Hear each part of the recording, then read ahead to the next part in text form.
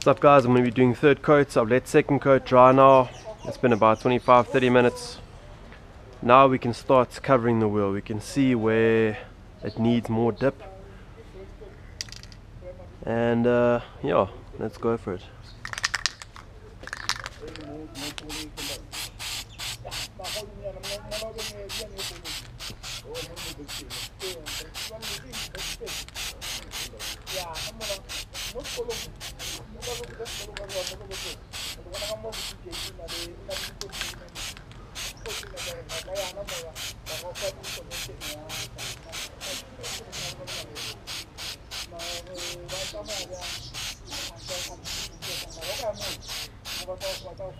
Normal ratio would be one can per wheel.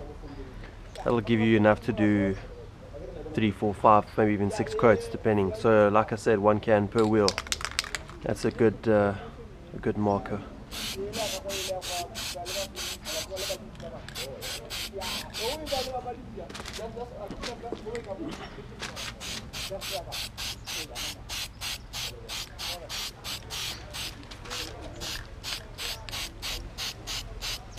You just want to make sure that you're spraying somewhere well ventilated.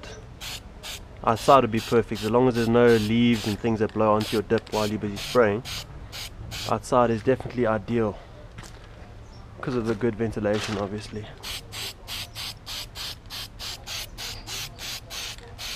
It's definitely coming out neat.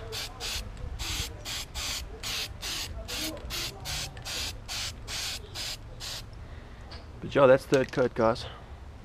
We'll wait about 25-30 minutes and then we'll move on to the fourth coat.